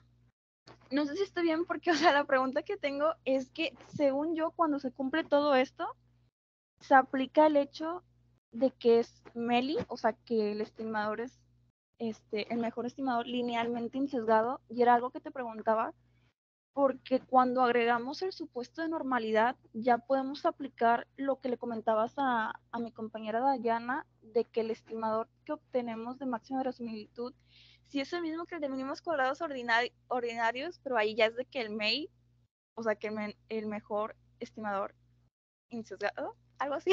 Entonces ahí como que estoy medio confundida, creo que es así. Y pues, Ah, pues la verdad estuvo bastante completa la respuesta, pero, pero faltó. ¿Puedes subirle, por ejemplo, para explicarlo de que mucho más, acá, hab- más habladito, sí, ¿Aquí? Sí, el primer supuesto, linealidad del modelo. ¿Qué significa linealidad del modelo? Simplemente que y las x están relacionadas de una manera lineal. ¿Qué significa? No significa que la x no pueda ser cuadrada, no pueda ser una raíz, no pueda ser cualquier cosa. Es que la beta no puede ser cuadrada, no puede ser una raíz, no puede ser otra cosa. La beta específicamente tiene que ser lineal, no puede ser una transformación. Ah, la X sí, la X puede ser cuadrada, puede ser raíz. Eso, a eso se refiere con linealidad. Se refiere a la beta. La beta tiene que ser lineal, no la de X. ¿Puedes bajarle? Ah, ahí. Sí. Am, aquí. Sí, ¿qué se rompe? El primero, ¿qué pasa si rompes la linealidad? Pues no tienes una relación lineal, ¿no? Tienes como observaciones y ya no puedes usar mínimos cuadrados ordinarios, tienes que usar otros métodos de estimación. Es econometría más avanzada, ¿no? Econometría bayesiana y todo ese tipo de cosas. El segundo, exogeneidad. Exogenidad es simplemente que los errores y tus variables no tengan relación. ¿Por qué? ¿Qué pasa si tus errores y tus variables tienen relación? Fácil, te sesgan, porque al momento de estimar tus betas de X, estás tomando en cuenta el error y eso te sesga, porque ya no tiene media cero y todo ese tipo de cosas. Bueno, sí, sí, el error sí tiene media cero, pero más bien como al momento de despejar, no sé explicarme, pero bueno, es simplemente que no es ortogonal. Que no es ortogonal significa que si están relacionados y si están relacionados tienes un sesgo. Tu beta está sesgada, tu beta está movida, no es la beta verdadera. Y tampoco sería consistente. Ahí está el asunto. Eh, la consistencia, no, no lo sería tampoco. Ah, Oye, te no, quería no lo sería. ¿Sí? Te quería preguntar algo, o sea, de que en primer lugar, pues, o sea, si el estimador, o sea, en el caso de que exista no ortogonalidad, pues el estimador, pues, como dices tú, ya está sesgado. Entonces, ese sesgo también le afecta a la eficiencia, porque también deja de ser de, pues, de, de mínima varianza, ¿no? Bueno, ahí está, ahí está el asunto. Sí puede ser sesgado, pero puede ser Ah. eficiente. O sea, que sea sesgado no significa que sea ineficiente. Puede ser sesgado y eficiente. Puedes tener el estimador más sesgado de la vida, pero puede ser eficiente. Puede ser tu mejor estimador sesgado. Pero, por ejemplo, o sea, a lo que va, a, a lo que quiero entender es que a lo que el doctor dice es de que, pues, si ya es sesgado, a mí no me importa de que si tiene mínima varianza, o sea, de que ya Ah, lo sí. saco. No Ah. te importa porque literalmente está mal, ¿no? O sea, lo que importa, primero, ¿qué significa que sea sesgado? Que la beta está incorrecta, no es la relación. Si, por ejemplo, tú por cada año de vida creces un centímetro, es un ejemplo, con una beta sesgada te dice que por cada año de vida tú creces tres metros, tres metros. Pues es algo que nada que ver, ¿no? O sea, la relación está mal. O sea, puede que sea eficiente, puede que la varianza sea menos, puede que el estimador esté entre 3 metros y un centímetro y 2 metros 99 centímetros, pero, pero pues de nada te sirve, tú ya sabes que el estimador está sesgado. No, y eso es lo peor de todo, tú no lo sabes, la exogenidad no se puede detectar, no tiene una prueba estadística. Hay maneras de detectarlo, pero no estadísticamente. Eh, entonces, sí, la exogenidad es el mayor de los problemas, de hecho. Ah, el, bueno, el mayor de los problemas sería multicolinealidad. ¿Por qué? Porque básicamente si es perfecta no tienes estimador, pero digo, esa es muy, esa es muy fácil de arreglar. En realidad sería la exogenidad porque es difícil de detectar. Es, tienes que cumplir ciertas condiciones para eliminarla. Y básicamente la detección es pura teoría, no puedes detectarlo de manera estadística, lo, lo detectas con relaciones empíricas. Ah, pues sí, eso es la exogenidad. La exogenidad te causa específicamente solo dos cosas. Te causa inconsistencia y te causa sesgadez. Eh, la no colinealidad o la multicolinealidad, eh, la no multicolinealidad, ¿no? Es otro supuesto de Gauss-Markov. Es simplemente que las X no se relacionen con las X. Si quieren ser más estrictos, pues es que tu matriz sea de rango completo. Eh, si no es de rango completo, pues es tu matriz, es- tienes una matriz no singular, eso es que el determinante no existe, y si el determinante no existe, no puedes sacar matriz inversa, y si no tienes matriz inversa, pues no hay estimadores. X. Bueno, si es multicolinealidad cercana, pues simplemente te infla la varianza, y si te infla la varianza, ¿qué pasa si te infla la varianza? ¿Qué no pasa si te-. Exactamente, si te infla la varianza, no es eficiente. ¿Por qué dices que no es eficiente? Porque estadísticamente tú obtienes el p-value y puedes decir, ah, este estimador me salió que, que, puede, que es estadísticamente igual a cero, que es no significativo. Pero en realidad no. Te salió eso porque la varianza está muy alta y la varianza está muy alta por la multicolinealidad cercana fuerte. Entonces, la, apréndanselo así, la eficiencia afecta a las pruebas de hipótesis. La eficiencia afecta a eso. La consistencia es más como para decir propiedades as- asintóticas. La, la consistencia no importa tanto. Eh, y la sesgadez, pues, es lo que importa, ¿no? La sesgadez te dice para desde el inicio si tu beta está bien o mal. Entonces, la sesgadez, pues ya te puede arruinar la beta. Y la eficiencia te puede arruinar, te puede ocasionar el error tipo 2. ¿Cuál es el error tipo 2? El error tipo 2 es rechazar un estimador que es correcto. En este caso estás rechazando una beta que es correcta, pero lo estás rechazando por una alta varianza. Supongo que eso también se los explicó Luna, ¿no? El error tipo 1 y el error tipo 2. Bueno, pues una alta eficiencia, perdón, una alta varianza te causa ineficiencia, que es básicamente error tipo 2 en tus, e, en tus pruebas de hipótesis. Ah, perdón si lo digo muy rápido porque de hecho no tenemos mucho tiempo. Ah, el número 4, ah, sí, ¿qué Sí, pasó? perdón. Bueno, lo de no multicolineal, digo, el problema de multicolinealidad, pues creo que es evidente que le pega a la eficiencia, pero el profesor también nos comentaba que le pegaba a la consistencia por algo de que tardaba más tiempo en converger, pero no lo entendía del todo. No, la multicol... Ah, bueno. Ah, pues el profe Luna, pues evidentemente sabe más que yo, ¿no? Pero lo que yo tengo entendido, y estoy seguro que es así, pero bueno, me puedo equivocar, soy humano, es que no, no le pega la consistencia. Ah, la consistencia eh, es en el, en el PLIM, ¿no? En la probabilidad límite. Entonces, como su nombre indica, es en el límite, que es donde está la ley de grandes números y el teorema del límite central. Eh, básicamente, si tienes inconsistencia, pues es que no se cumple ninguna de las dos, no se cumple ni el teorema límite central ni la ley de grandes números. ¿Qué es lo que pasa con eso? Pues nada, o sea, es simplemente que en el largo plazo, o bueno, a medida que tú metes muestras al punto de tener la población total, eh, pues simplemente la beta que estimes no va a ser la beta, ¿no? Pero para empezar, si no es eso, pues es que está sesgada. Y es el problema principal, la sesgadez, no la inconsistencia. Porque de hecho van de las manos. Si está sesgado, es inconsistente. Si es consistente, pues está insesgado. Van de la mano. Pero no sé, a lo mejor hay otro tipo de condiciones que yo no conozco con otro tipo de supuestos que, que son, no van pegados de la mano, ¿no? Que puede estar uno sin el otro. Pero es básicamente eso. Eh, y digo, no quiero contradecir al doctor Luna, yo creo que le deberías de preguntar a él. El número cuatro son dos supuestos. Esfericidad en observables es básicamente juntar dos supuestos. La, algo que se llama homocedasticidad y algo que se llama no autocorrelación. No autocorrelación. Ahora, ¿qué es eso? ¿Qué es la homocedasticidad? La homocedasticidad, bueno, primero, sus errores. Los errores saben el supuesto básico, ¿no? Distribución normal. ¿Por qué distribución normal? Por las pruebas de hipótesis. No, no te, no te causa ineficiencia, pero no puedes hacer pruebas de hipótesis porque las pruebas de hipótesis se hacen con el...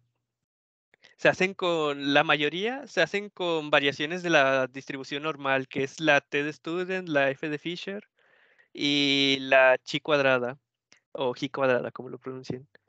Y literalmente ahí está de que el 90% de las pruebas de hipótesis y ninguna de esas puedes hacer si tus errores no se distribuyen de manera normal. Entonces sí obtendrías estimadores, pero las pruebas de hipótesis no se pueden hacer. Entonces, por eso el supuesto, ¿no? Por eso es algo preferible, pero no necesario. Ahora, eh, ¿qué significa que sea homocedástico? Pues ya ves, tus errores tienen que tener media cero. Primero tiene que tener media cero. ¿Qué pasa si no tienen media cero? ¡Pum! Tienes sesgadez. Entonces, pues ya no tiene sentido lo que estás haciendo. Si estás haciendo algo sesgado, pues no lo hagas. Entonces, pues está construido para que tengan media cero, por definición. Y la varianza.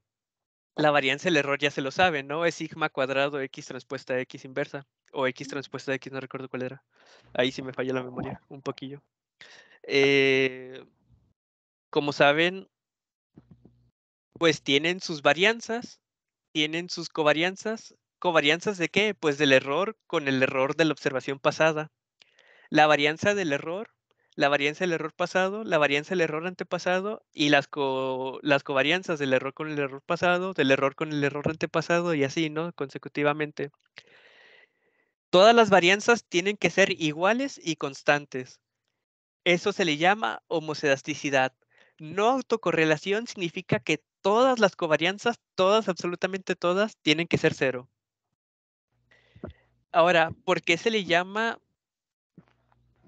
¿Por qué se le llama errores esféricos? Porque básicamente tu matriz se convierte en un escalar por la matriz identidad y pues es sigma cuadrada e, ¿no? Por eso, simple, por eso cuando ven la distribución normal del error, ustedes ven, se distribuye normal entre paréntesis 0, sigma cuadrada e. No ven sigma cuadrada x transpuesta x o sigma cuadrada omega.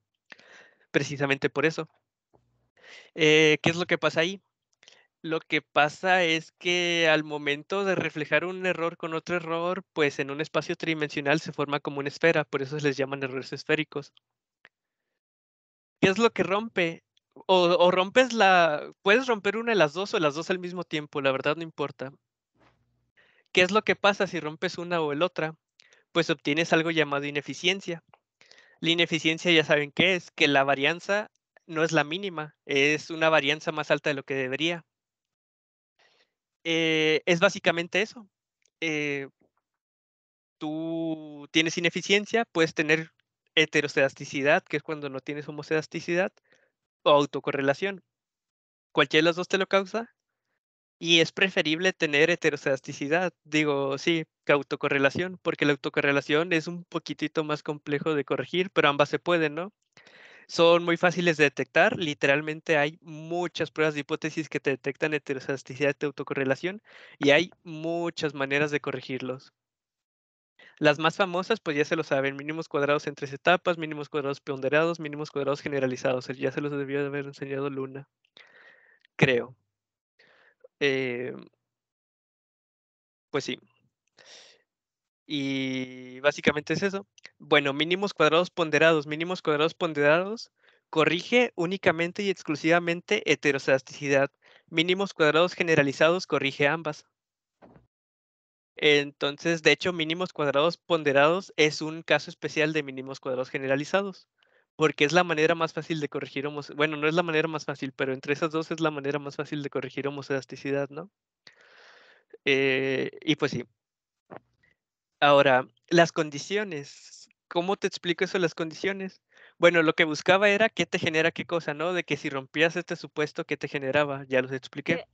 Sí, eso de las...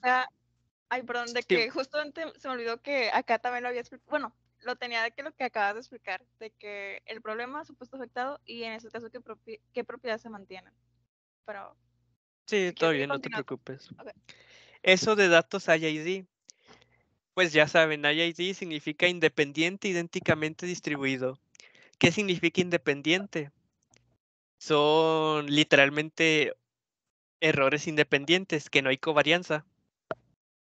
Entonces, IID no es una condición, es más bien el supuesto de errores esféricos. Independiente se refiere a errores independientes, que no hay autocorrelación, no hay covarianza entre errores. Idénticamente distribuido, pues ya lo saben, que aparte de que no hay autocorrelación, que, la, que son homocedásticos, que la varianza es la misma, que no hay covarianza entre errores y que la varianza de todos los errores es la misma. Por eso se llama independiente idénticamente distribuidos. Si tus datos son esos, tienes errores esféricos. Si tus datos no son IID, tienes errores no esféricos. Eh, y ahí es donde surge la ineficiencia, ¿no? Y también depende de si tus datos, aparte de no ser IID, tienen alguna autoselección o insesgadez, perdón, o exogenidad, pues eso ya te genera sesgadez, ¿no? Que es un problema todavía mayor. Lo del modelo está especificado paramétricamente, no sé qué sea, me suena mucho a Jorge Moreno y nunca fui a sus clases. Sí, es El... Ay, perdón, es que me acordé bastante del teorema de Gas-Markov, que según el doctor Moreno era el teorema de Eco 1 y mencionaba de que, aparte de los supuestos, que fuera la muestra IID y especificado paramétricamente de que el modelo empírico esté relacionado con el modelo, con el proceso generador de datos. O sea, que sí coincidan. Vaya. Sí, sí, sí, que tenga una forma funcional. Sí. Eh, perfecto y el número de observaciones es mayor al número de parámetros. Ok, ¿por qué el número de observaciones tiene que ser mayor al número de parámetros? ¿Qué creen que pasa si el número de observaciones es igual o menor?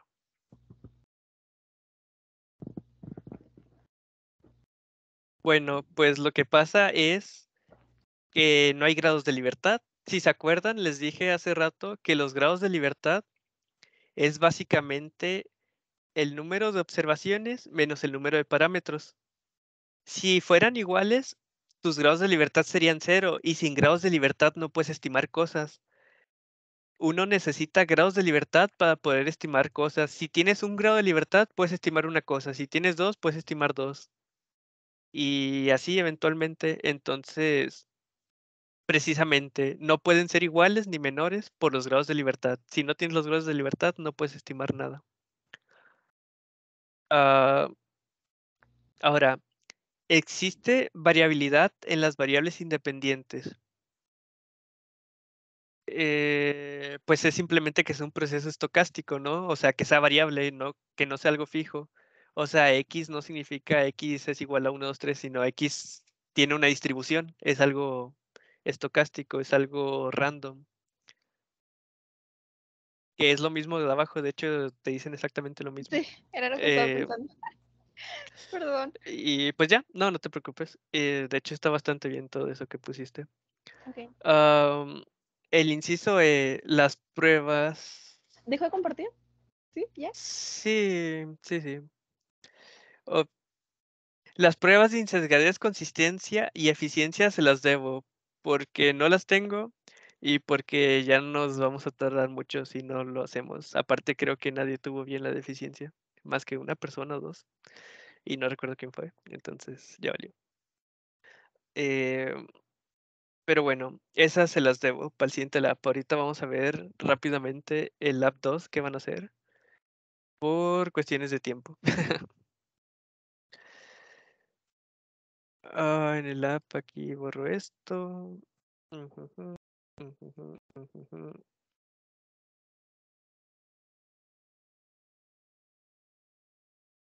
Aquí está heteroelasticidad. Ay. Ah, ok, comenzamos con las test. ¿Alguien me puede decir para qué sirve el, la, la prueba de hipótesis Golfet and Quant? ¿Qué es lo que hace? ¿Para qué sirve? ¿Para detectar qué cosa?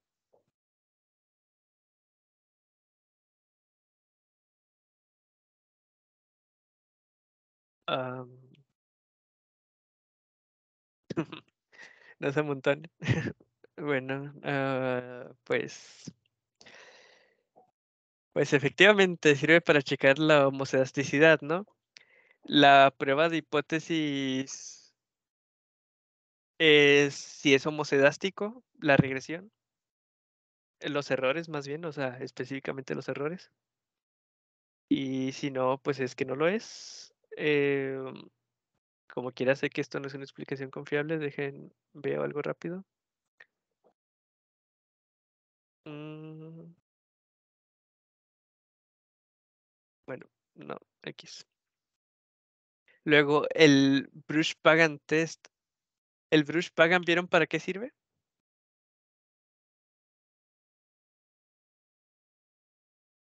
Mm, Bueno, voy a suponer que sí lo vieron, pero andan tímidos. Que El no Bruce. Exactamente, es lo mismo. El Bruce Pagan test sirve también para lo mismo, detectar heterocedasticidad y además autocorrelación. Pero eso lo van a ver después. Por el momento, estas dos sirven para heterocedasticidad. Y qué sorpresa, ¿no? Pues el laboratorio se llama heterocedasticidad. Ah, también de que... ah, permítanme.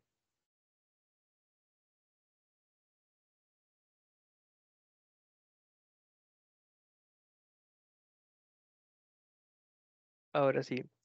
Es de que la varianza covarianza, el BCOP HC. El BCOP HC es varianza, covarianza. Y el HC. Ay, no recuerdo qué era el HC. Era. mm, Esto es del paquete de sándwich, eso lo recuerdo bien, pero no recuerdo qué era. Bueno, aquí es donde están los varios métodos. Para corregir únicamente heterocedasticidad, usan el método de White. Para corregir eh, heterocedasticidad o autocorrelación, lo van a ver después, usan el New West, pero... Ah, ya, ya, ya recordé qué significa. Es varianza, covarianza, heterosedasticity y correlation. Eh, sí, creo que era eso. Estoy casi seguro que es eso. Y esto simplemente lo meten de esta manera, porque esto sí no van a entender. No hay mucho tiempo, entonces yo creo que aquí sí los voy a ayudar bastante en, en esto de los códigos. Primero,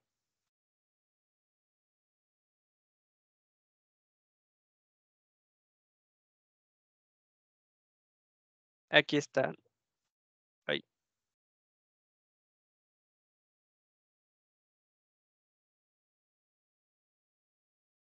Ah, si lo pueden ver es de que el GP-test realiza la prueba de golf en la quant, ordenados de mayor a menor por la variable independiente elección y las observaciones a eliminar del grupo 2, porque si se acuerdan, esto lo separa en dos grupos. Esta es la de Bruce-Pagan test, especificas la fórmula de varianza y puedes hacer diferentes tipos de pruebas, ¿no? Aquí también puedes hacer la de White, la de Bruce-Pagan, la estudiantizada, entre las demás, que no sé cuáles sean las demás, no recuerdo muy bien. Eh, y aquí está la, la de varianza-covarianza. Esta te permite crear tu matriz varianza-covarianza. Permite corregir la matriz. ¿Cómo la corriges? Específicamente, tú creas tu propia matriz varianza-covarianza de los errores. ¿Esto qué hace? No te cambia los estimadores. Porque si recuerdan, la matriz varianza-covarianza es para la varianza de beta. Eso no te cambia los estimadores. ¿Qué es lo que te cambia únicamente? Eh, la eficiencia te cambia específicamente la varianza, el error estándar de tu estimador beta. Y pues te ayuda a corregir específicamente el problema de la eficiencia, ¿no?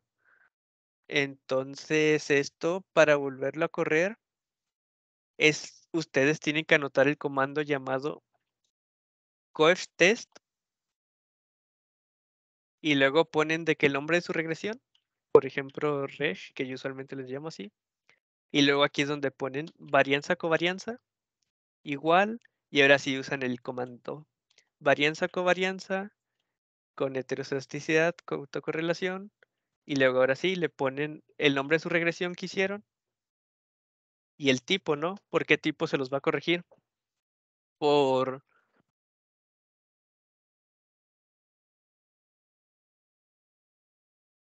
Aquí está por el tipo de autocorrelación, eh, perdón, por el tipo que quieren usar de estimador. La mejor cita, lo van a ver después, es la New West, porque corrige para ambas, es consistente con heterocedasticidad de autocorrelación. Pero para este lab van a usar la que se llama, ah, creo que tienen que usar la que se llama HC1. Este es un comando, ¿no? Eh, aquí tienen de que esto es suponiendo que una vez ya tienen el summary de su regresión y ya tienen su regresión. Luego, por ejemplo, ¿cómo se usan los demás? El BP test, el Bruce Pagan test lo usan así, ¿no? De que ponen su regresión, ponen los datos, pues el nombre de su variable, de su, perdón, de su data frame. Y si la quieren estudiantizada, ustedes ponen que no. Studentize. Ustedes le ponen F de false. Am, también pueden jugar con esto, ¿no? También pueden poner de que esto mismo.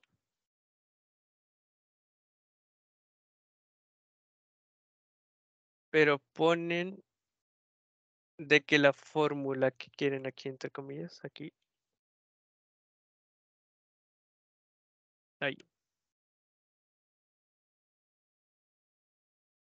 Es fórmula de la varianza y luego le ponen igual, virgulilla. Y por ejemplo, le ponen el nombre de la variable, ¿no? Le pueden poner price, que es la que van a usar, esta es una. Luego, otra que pueden usar es, por ejemplo, la de Goldfield and Quant, que es el GQ-test, el nombre de su regresión, y lo ordenan porque saben que lo dividen por dos submuestras, vamos a llamarlo. En dos partes, porque saben que lo dividen en tres partes, eliminan la parte del medio. Y pues ya se los explicó el profe. Eh, lo que recuerdo, creo que era este, porque sí es el que te lo tienes que ordenar. Eh, y pues ya, ¿no? Lo ordenan por la variable que lo vayan a ordenar, por precio o por ingreso. Ahí van a ver ustedes y luego ponen el dat el los datos de dónde vienen. Y pues la muestra, ¿no? La submuestra, qué es lo que quieren eliminar, cuánto quieren eliminar del centro. Aquí pueden poner las fracciones, las observaciones que quieren eliminar.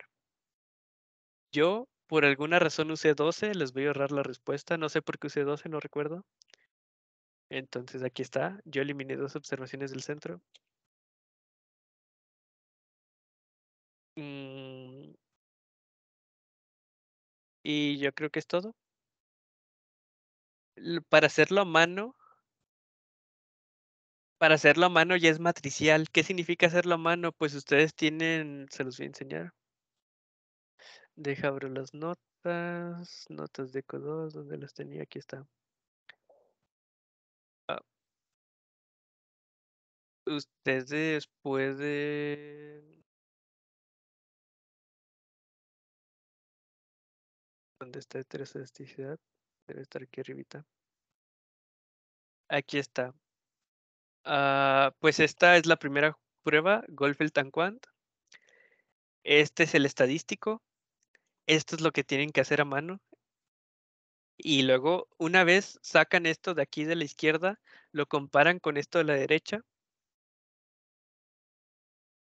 Y no, el proceso sí se pasó, no recuerdo ni cómo hice esto, pero bueno. Eh, es hacer esto a mano, luego lo comparan con esto y el que sea más grande y ya ven si se rechaza o no. Luego creo que también les pide la Rush Pagan, que es esta, hacen esto. Y luego lo comparan con esto, esto ya está más fácil. Y, y sí, hacen su gráfica de los residuales, su regresión. Y pues importante, ¿qué librerías van a trabajar? Estas son las librerías que van a usar para el laboratorio. Van a usar... Ay, install.package y luego ahora sí aquí van a ponerle de que sea igual a y entre comillas van a usar la de air. Van a usar la de car. Van a usar la de sandwich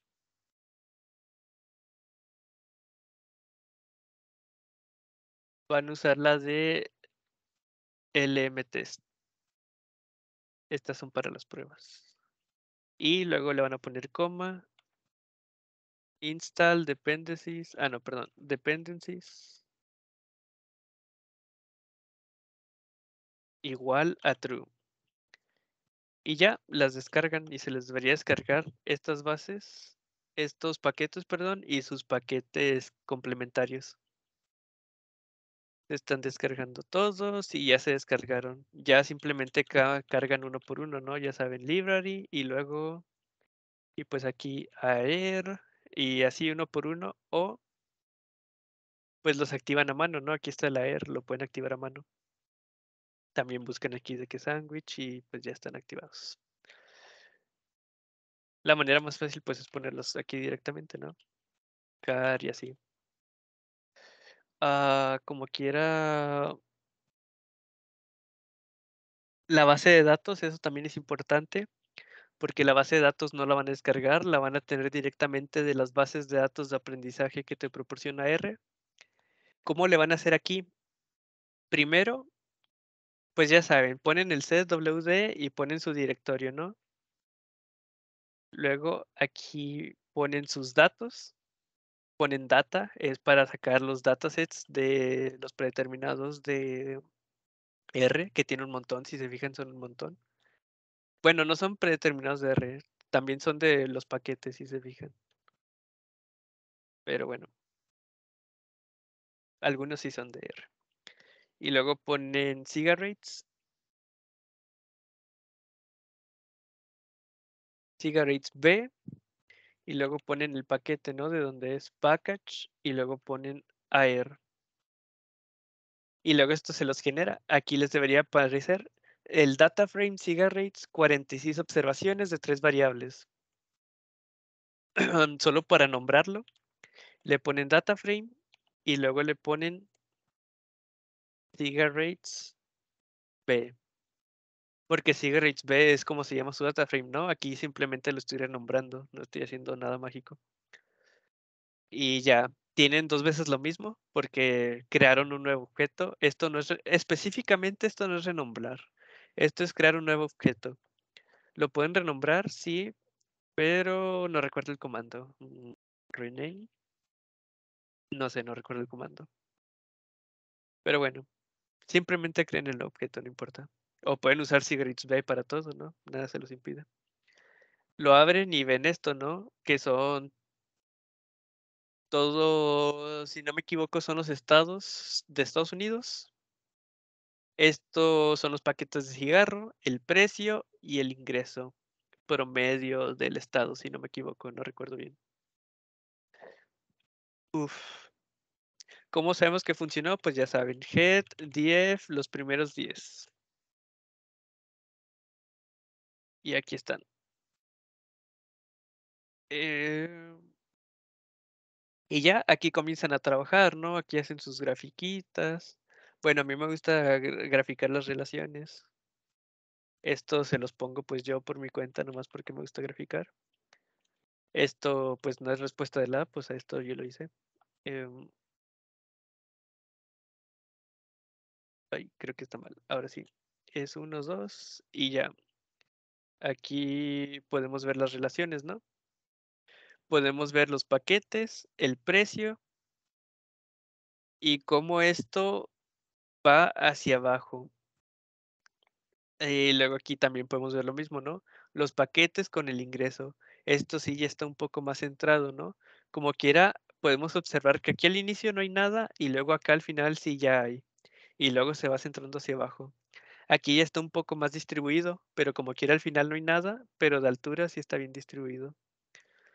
Entonces ahí van a encontrar sus problemas, a ver qué encuentran.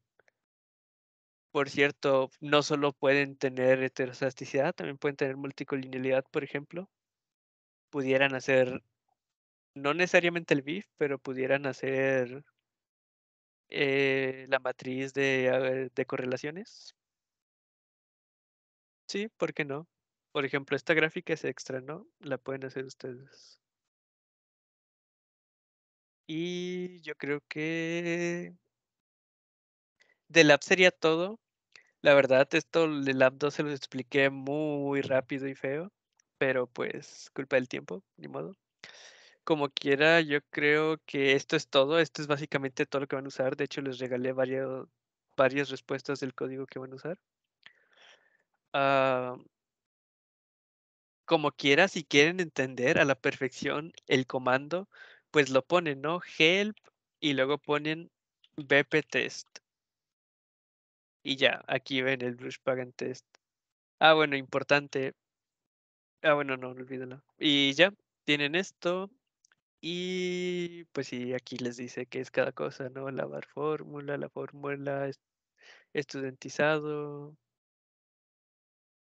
Y ejemplitos y todo. Y pues sí, es básicamente todo. Yo creo que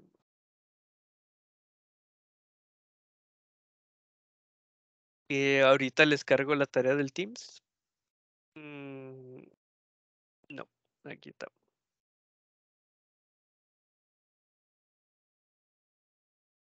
Ahorita le escribo la segment. Mm, y muchas gracias por, por venir, por poner atención y por participar, los que participaron. Ah, pues ya los dejo porque viernes, tarde, pereza, sueño. Cuídense, adiós, bonita tarde, chau, chau. Oye, Polito, Ah, hola, ¿qué pasó?